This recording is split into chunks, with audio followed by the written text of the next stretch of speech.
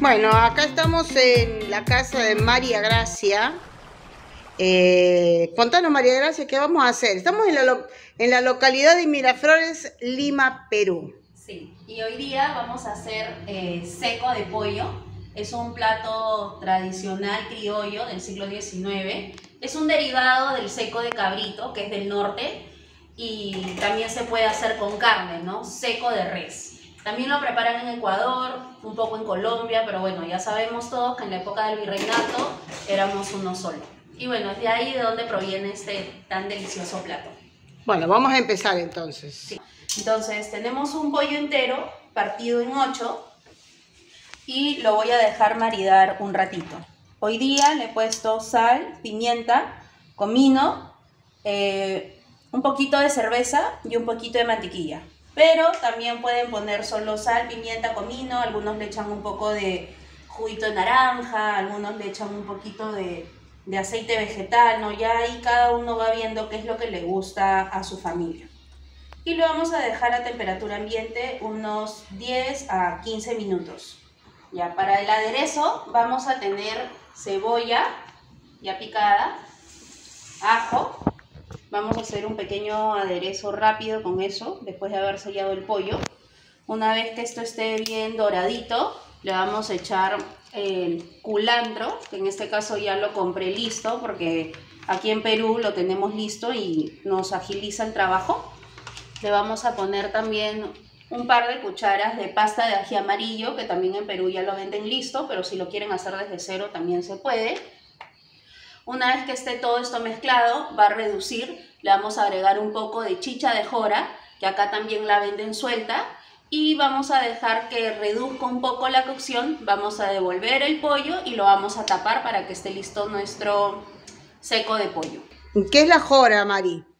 Eh, la jora es una maicena malteada y la chicha de jora es el fermento de esta, ¿no? Sale un líquido, en este caso nosotros lo hemos comprado en el mercado a granel, entonces me lo han dado en una botellita de Coca-Cola, pero también se puede comprar en botellas cerradas de fábrica para que sea más confiable, se podría decir. Pero usualmente la jora la distribuyen suelta, a granel, en Perú, Bolivia y Ecuador. Y un detalle que se me pasó fue que le vamos a agregar en el aderezo también el zapallito loche. Este es el secreto de el seco de ya sea de res o de pollo. Ya, vamos a hacer un arroz con choclito que en Perú se hace bastante. Cuando hacemos arroz con choclito, que es este choclo, es distinto me parece en varias partes del mundo. A veces en Estados Unidos lo tienen amarillito y más dulce. Este choclo no es dulce, Pero miren el, ta- blanquito. el tamaño. Es grande este es grano. grande, sí. Entonces, vamos a hacer eh, el arroz con choclito y tienes dos formas. Lo que yo prefiero es hacer el choclito primero, zancocharlo, Hervirlo. hervirlo. Entonces, le voy a echar manzanilla para que la dé sabor. Puede ser manzanilla o anís, no hay ningún problema. Y también yo le echo un par de cucharas de azúcar para que esté un toque dulce. Y luego que se haya cocinado el, arroz, el choclito, lo pasamos al arroz que ya va a estar hecho. Lo vamos a ver en unos minutos. Bueno, ya pasaron unos 20 minutos más o menos, así que vamos a freír el pollito. Le he puesto un poco de aceite, he esperado a que caliente y vamos a poner los trozos de pollo para que se vayan friendo. No tiene que estar totalmente cocido porque se va a seguir cocinando en el aderezo, pero sí debe estar eh, doradito para que el color se vea parejo. Como sellado. Sellado, pero un poquito más allá de sellado, un pelito más allá del sellado, para no demorar mucho con el aderezo. Vamos a hacer de 4 en 4 para que no se humedezca la presa. O cuando le damos la vuelta, si no.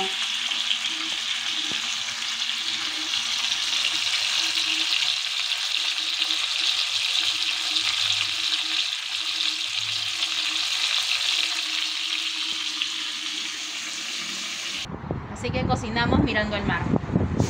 Qué lindo. Aparte hace un viento espectacular.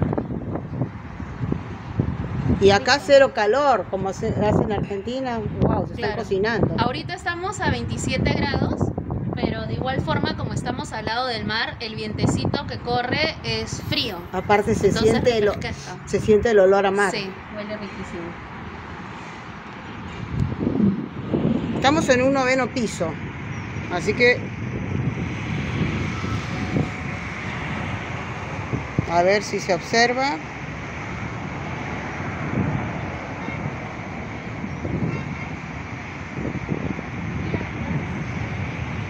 Este es el distrito de Miraflores, uno de los distritos caché de acá de Lima.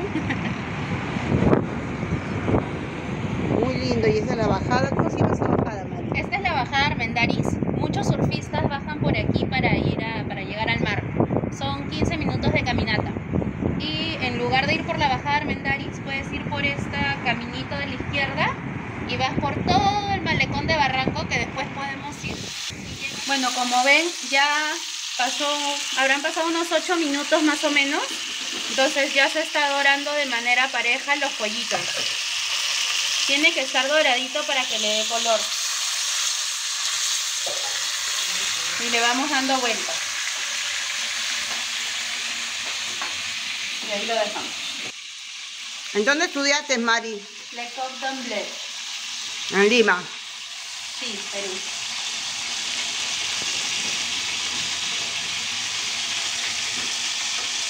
¿Se puede hablar de tu trabajo en el pan de la chola? ¿Ah? ¿Se puede hablar de tu trabajo en el pan de la chola? Sí, supongo que sí. ¿Y trabajaste en qué lugar bastante tiempo? Eh, trabajé en el pan de la chola con casi seis años. Wow. Ellos me aceptaron sin haber terminado el cordón. O sea, yo entré ahí y después de un ciclo recién me gradué. Y mi jefe, que es mi antiguo jefe, que es lo máximo, me dejaba igual ir, practicar, estar en el área de sándwiches, eh, me enseñó a ver inventarios, a, hacer el pedido de insumos. Muy chévere.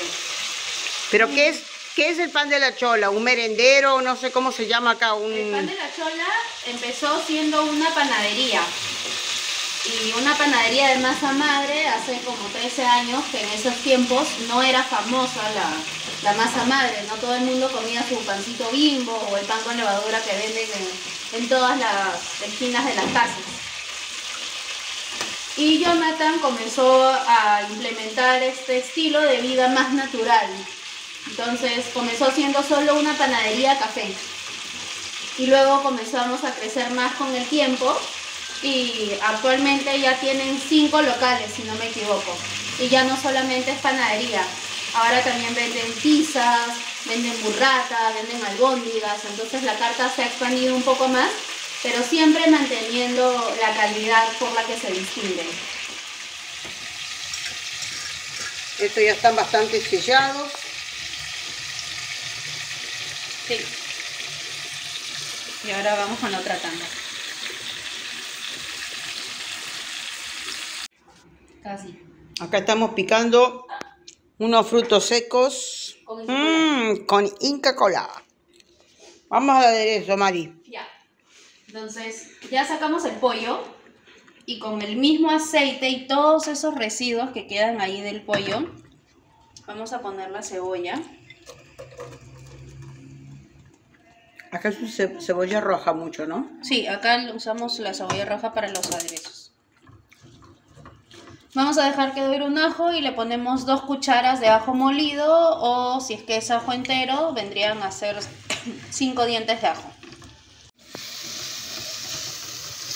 Si se dan cuenta, la cebolla eh, absorbió todos los jugos, todo, lo que se había pegado del pollito. Entonces, se podría decir que se ha formado una especie de, de concentradito en el aderezo porque ya la cebolla absorbió el sabor del pollito, de lo que se había dorado y de lo que lo habíamos sazonado.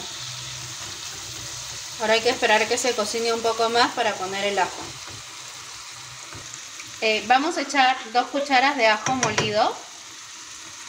Este ajo yo lo compro entero eh, y lo licúo con un poco de, agua y un poco de aceite para que lo conserve. Bastante ajo, Mari. Sí. Acá el aderezo tiene que ser bien concentradito y mayor cantidad porque el pollito, el seco de pollo o el seco de res se sirve con el aderezo. Entonces tiene que haber bastante juguito, no es solo un poquito. Ya, entonces ya comienza a oler a, que está doradito y aparte se separa la grasita de la cebolla con el ajo. Así que es momento de agregarle el culantrito, en este caso es culantro con espinaca, porque a veces el culantro o el cilantro, como le dicen en otros países, cae muy pesado a algunas personas y es un poco difícil de digerir. Entonces, Sibarita ya vende mezclado el culantro con la espinaca. Yo le voy a echar tres porque necesito que me sobre el aderezo para otra preparación que voy a hacer otro día.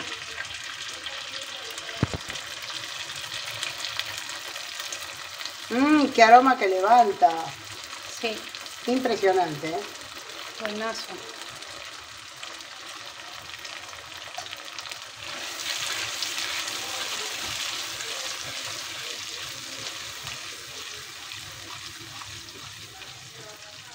Ya, lo mezclamos y le echamos un poco de pasta de ají amarillo. Que también tiene un sabor muy particular. Sí. Que también podrías haber comprado fresco y haber molido. Sí, también lo podía haber hecho al momento. Tiene que quedar un poco marroncito. Ahora tenemos que esperar que se ponga marrón. Ahora tenemos que esperar que se ponga marrón. Es súper importante que se cocine bien porque puede caer mal a la pancita. Entonces demora un poco, pero cuando se separa y se hacen como burbujitas, así como estaba la cebolla con el ajo, es ahí cuando ya sabemos que está listo. ¿Como cuánto tiempo tendremos que esperar, Mari? Como media hora más o menos. Wow, lleva proceso de, elaboración entonces. Sí, puedes hacerlo rápido también, pero no va a salir igual. Acá le podemos echar de una vez el zapallo loche. Algunos lo echan casi al final porque les gusta eh, sentir esas texturitas, pero a mí me gusta que se incorpore con el aderezo. Claro, se desarma el zapallo. Sí. Entonces yo lo voy a echar de una vez. Entonces ya va cambiando de color y si van viendo está más espesito. Pero sigue oliendo crudo. Falta cocinar. Igual es rico el aroma, ¿eh? Sí, pero es como un poco ácido, ¿no sientes? Bueno, yo lo siento. Ah, yo siento todavía que está falta cocinar. A la nariz lo sientes ácido. Sí. Así que vamos a bajarle el fuego para que no se pegue el fondo. Lo vamos a ayudar con un poquito de agua. Y lo vamos a dejar unos 15 minutitos más y yo creo que ya está. Que se cocine bien y ponemos el pollo con la chicha de jora. Y por acá vamos a hacer el arrocito. ¿Qué pusiste acá, Mari? Es aceite con un poco de ajo molido. Nada, y que se cocine el ajito. Y las personas hacen el arroz de dos formas distintas. Algunos ponen primero el arroz, lo nacaran y luego ponen el agua. Y otras personas, como yo, ponemos primero el agua, dejamos que hierva, sazonamos y luego ponemos el arroz. ¿Qué es nacaran? Ah, nacarar es cuando dejas que el arroz se dore un poquito con el aceite. Ambas formas son correctas, depende en qué parte de, del mundo te encuentres porque la temperatura del agua y del aceite no hierva, no hierve ni se cocina eh, igual, ¿no? En distintas alturas de, del mundo. Entonces, de ahí depende de cómo te gusta el arroz. Ambas formas están bien. Y después vamos a fusionar esa salsa verde con, el, con, el pollo y el arroz. O, o el arroz. El arroz lo vamos a servir aparte. Ah, bien. Porque es seco de pollo, no arroz con pollo. Ah, bien. Una vez que el ajo dorado, le agregamos el agua. En este caso, como yo vivo en Lima y estoy al mismo nivel del mar, estoy usando la misma cantidad de agua por la misma cantidad de arroz. ¿Cómo se llama el arroz que usas? Valle Norte. Es el mejor. Es el, me- el extra mejorado, sí, es el mejor arroz que tenemos acá en el Perú. Claro, porque acá en Perú se come mucho arroz. Sí, como el pan en otros países.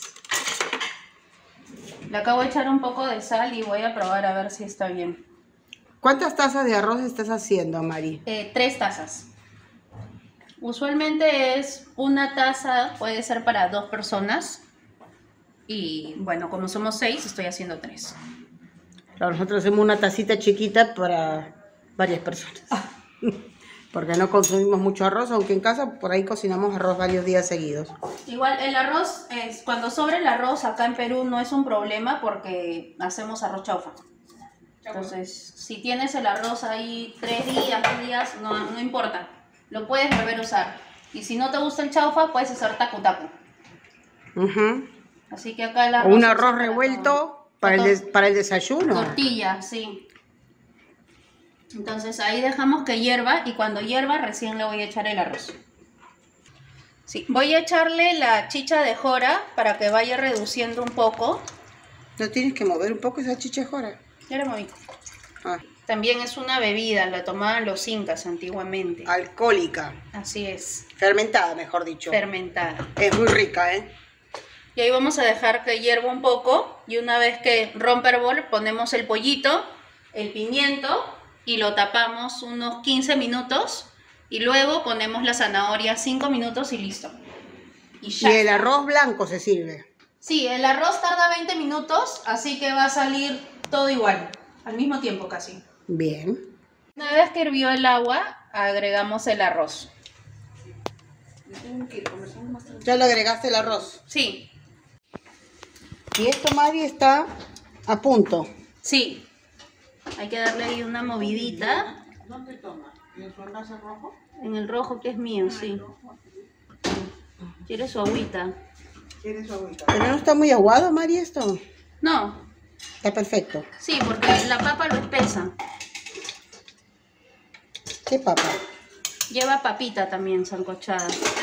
Ah, La papa se sancocha en el aderezo para que tenga saborcito. Ya, esto ya había roto hervor, o sea, ya estaba hirviendo, así que le bajé el fuego y vamos a poner los trozos de pollo para que se vayan cocinando. los trozos de pollo. De pollo. No es pollo. Pollo.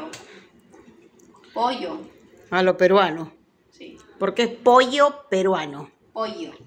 Y o, pollo. Exacto. Que pollo no existe acá. Pollo.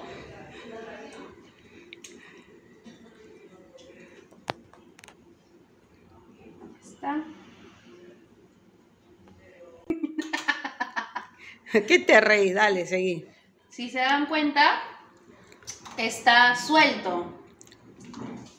Pero está bien, porque en 15 minutos, cuando, en 15 a 20 minutos, cuando vayamos a sacar el pollo, vamos a poner, como les dije, la zanahoria, el, el pimiento y también tenemos que poner la papita. Y la papita le va a dar espesor al, al juguito, al aderezo. Y ahora lo tapamos y esperamos 15 a 20 minutos. ¿Cuánto tiempo llevamos en la cocina? Como una hora y media. Más o menos. Pero lo estamos haciendo con paciencia, nos hemos tomado una cervecita. ¿Una pilsen? No, una Budweiser, somos gringos acá. Vamos a revisar cómo va el pollito. Ya casi está listo. Faltan todavía 5 minutos para que se cumplan los 20. Luego vamos a retirar el pollo. Voy a poner la papita para que se vaya haciendo y las verduritas faltantes ya para servir. Ajá. Pero ya casi está listo. ¿Y el arroz cómo está? Y el arroz, por acá, también ya casi está listo. Ajá. Como hacen el arroz acá, se seca el agua Sí, y queda cocinado el arroz. así es. Vamos a probar a ver cuánto falta. Ya debería casi estar.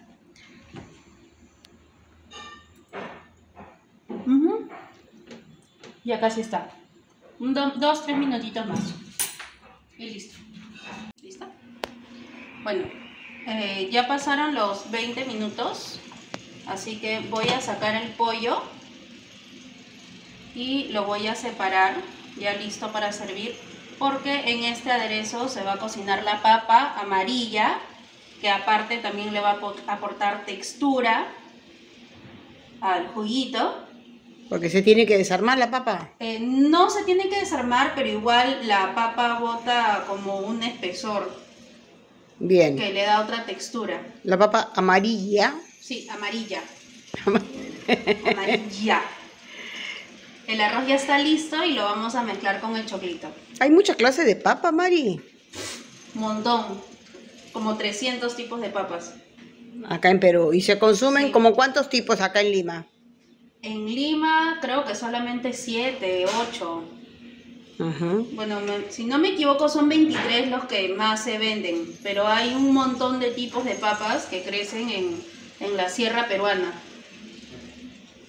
Eso, la, la variedad que depende, ¿la altura? De la altura, sí. Exacto. Ahora, el clima cambia. Sí, hace más frío. Más arriba hace más frío.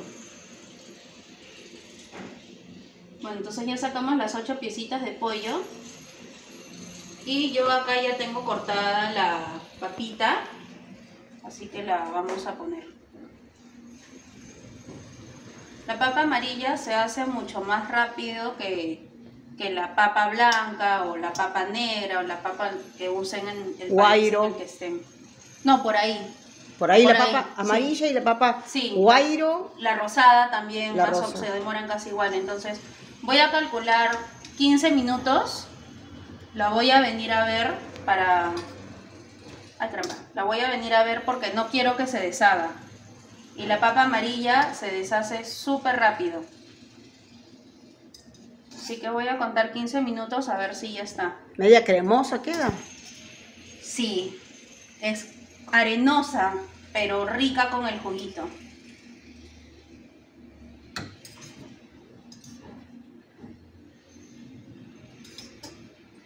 Listo.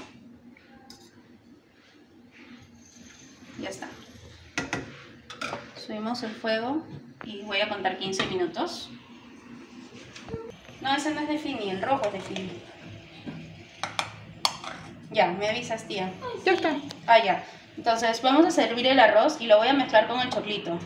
Entonces voy a poner primero una parte.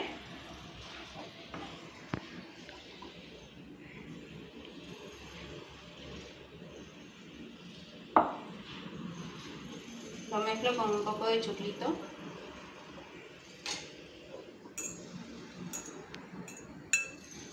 Parece una soncera, pero es tan rico. No hay nada más rico que el arroz con choclito. Ya, lo mezclamos así y luego la otra parte igual. Quedó muy rico el choclo cocinado con manzanilla, ¿le pusiste? Manzanilla y azúcar. Puede ser manzanilla o anís, lo que tengas. O los dos si quieres. Te pusiste tres sobres, ¿no? Sí, tres.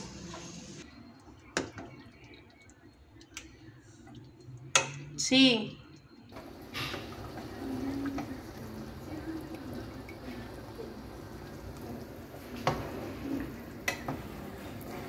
¿Ya?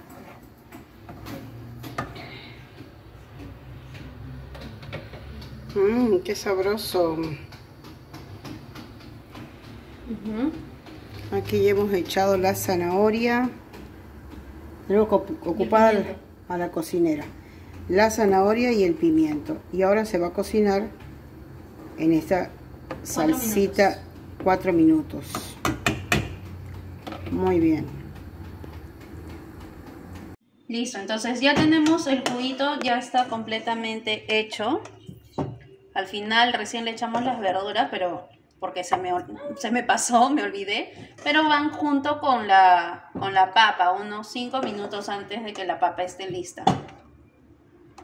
Y ponemos un montón de juguito encima porque es súper rico con bastante jugo. Aparte que nosotros los peruanos le echamos también eh, juguito al arroz